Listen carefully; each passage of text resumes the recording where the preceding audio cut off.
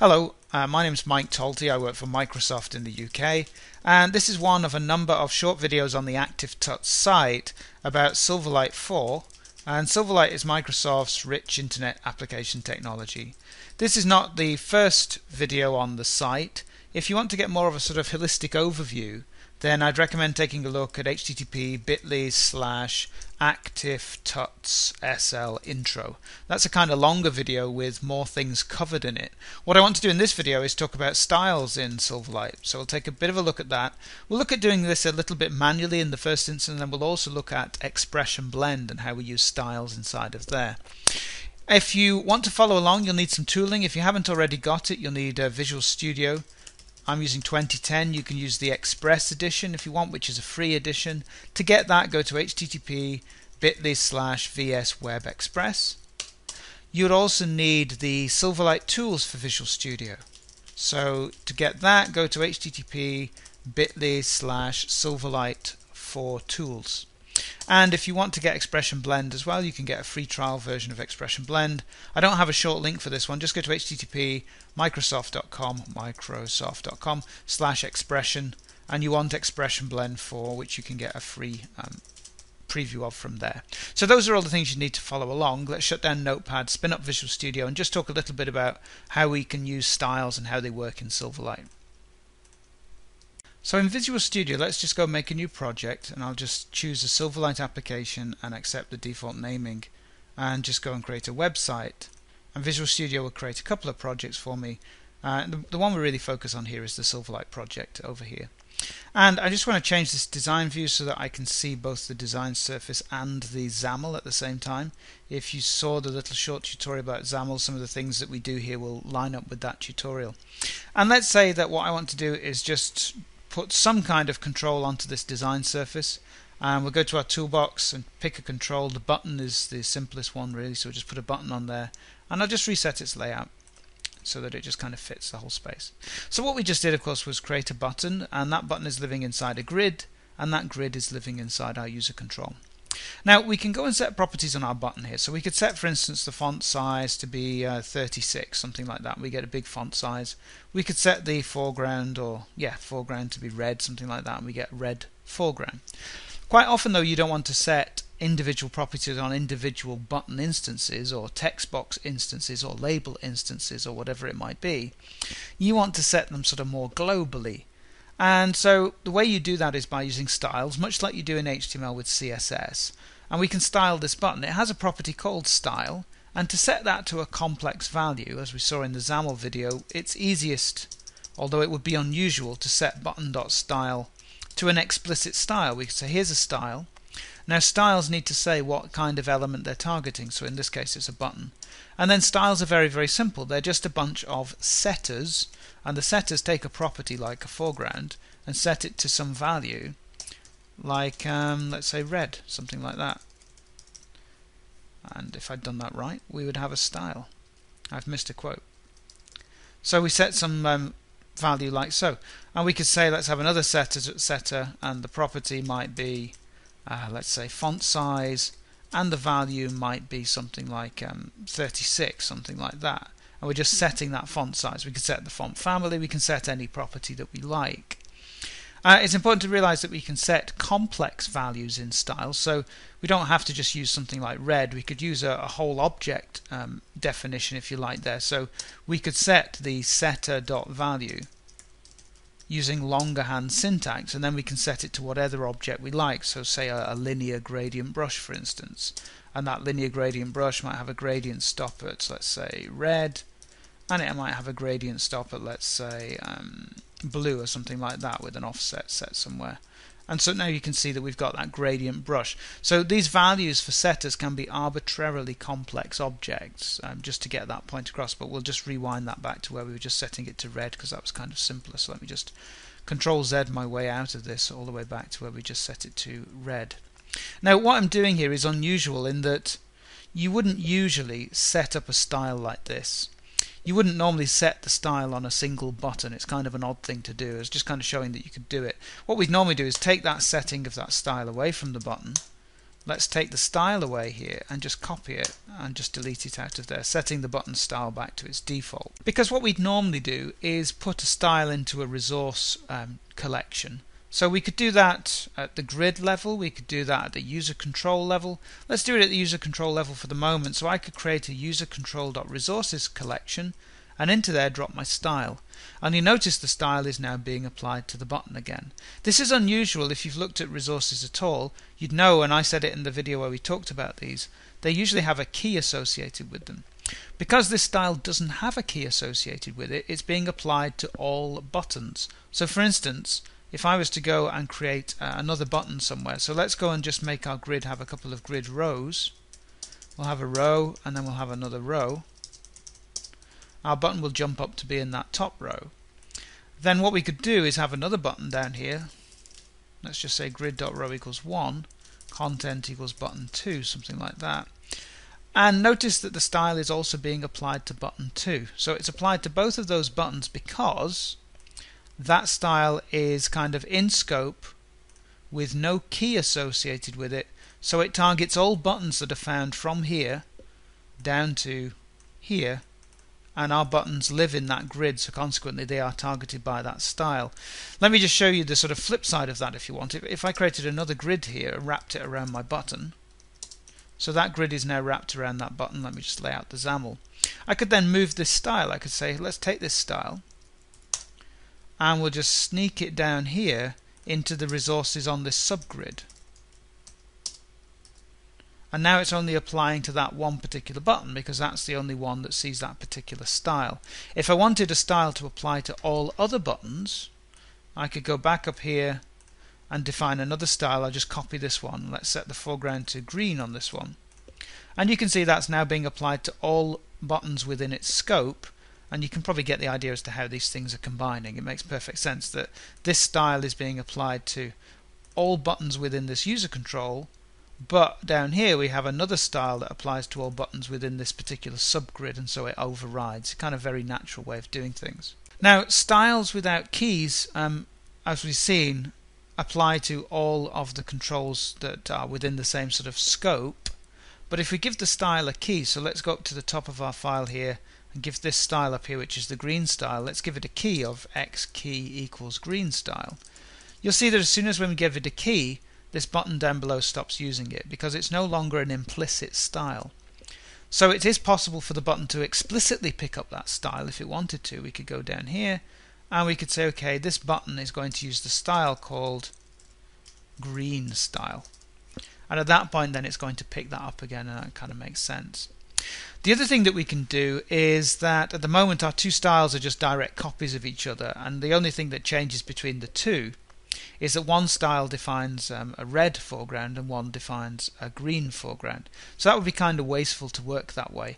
What we would usually do is derive the styles from each other. So let me steal, actually let's just cut this out of this grid here. Uh, in fact, we might even get rid of the whole subgrid at this point. We might not need that, so let's just get rid of that subgrid.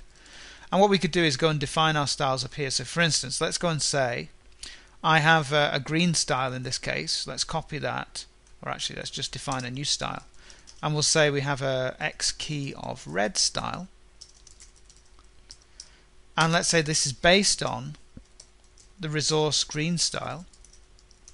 And then let's just go ahead and say there's a setter in here for the property which is foreground. We have to say what it targets of course targets buttons, foreground, and we set the value to be red.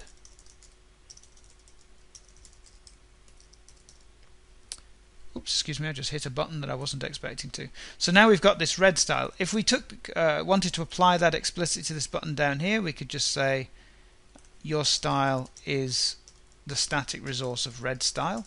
And you can see that's now being applied. Alternatively, we could take that away and we could take the key off this red style. And even though it's deriving from the green style it's still now applying to all buttons that don't explicitly mention a style. Now because we have this sort of hierarchical lookup for these things where we can go from the button to its parent to its uh, parent trying to find styles that are either explicitly named or are set implicitly with no name we can even move these things all the way up to the application level. So I can steal these two styles chop them out of there and you notice that the styles go back to their defaults. And I could open up my application file over here, app.xaml, which also has some resources and just drop my styles in there.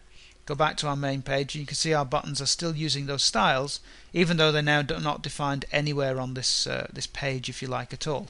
They're now at sort of application level and being used up here. And the other thing that's fairly common to do is kind of factor this out even a little bit further than that into separate resource dictionaries that can then be included.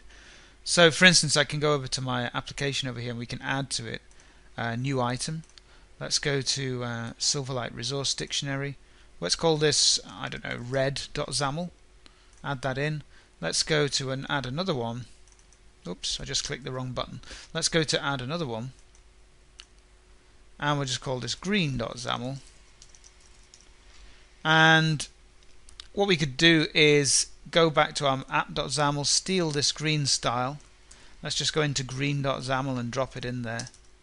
And I'm not going to give this a key in there and I'll steal that style and go to red.xaml with no key again and just make that red. So we kind of got two lumps of styles here that apply to all buttons within our application. Let's go back to our app.xaml and instead of listing these styles in here now what we can do is use a thing called a, a resource dictionary and set up its merged dictionaries and we can have a dictionary where the source is set to red.xaml and we can have a um, resource dictionary where the source is green.xaml and let me just take one of those for the minute and comment it out. So we'll just comment that one out. So at the moment we're just linking red.xaml into our application. I'm not sure I've actually quite got these um, these uh, files correctly set up over here. So I think what I need to do is just go to them find their properties Make sure this is set to um, resource and we don't want to actually compile these. And let's go over to this one go to its properties make sure this is set to resource. We don't want to compile that either. I think that'll be okay. And let's just press F5 on that and run the application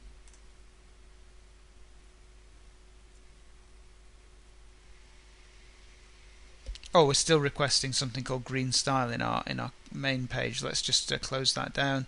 Go back to our main page.xaml and we'll not request that green style there. We'll simply go press F5 just run the application up.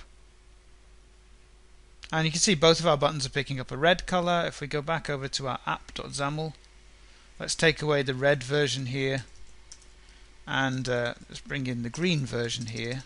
Press F5 on that. We'd hope that our application would be picking up the green styles and it is.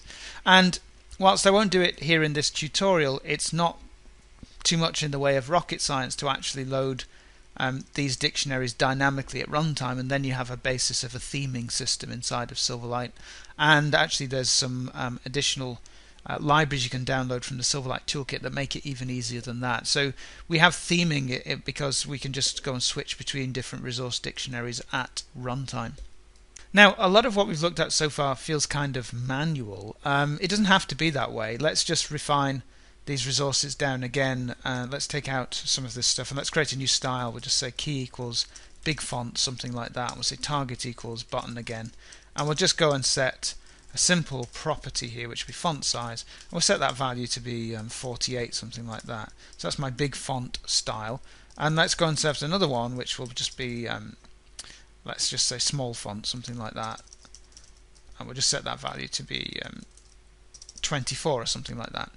And, and, when we got these things set up we can very much go back to our main page.xaml over here and we could grab one of these buttons and just click on it. And we could find its style and go and apply resources inside of here in Visual Studio and you'll notice that we've got the big font resource, the small font resource. We can click on these and it just picks them up very easily. Go to this one, set its style, let's go and apply the um, small font resource to that one and it picks it up. So whilst Visual Studio doesn't really help too much with defining styles, it's very good for picking styles out of resource. It makes that kind of easy. If I want to define styles in an easy way, then Expression Blend is pretty strong at that. So let's just shut down Visual Studio here and let's switch over to Expression Blend for a second.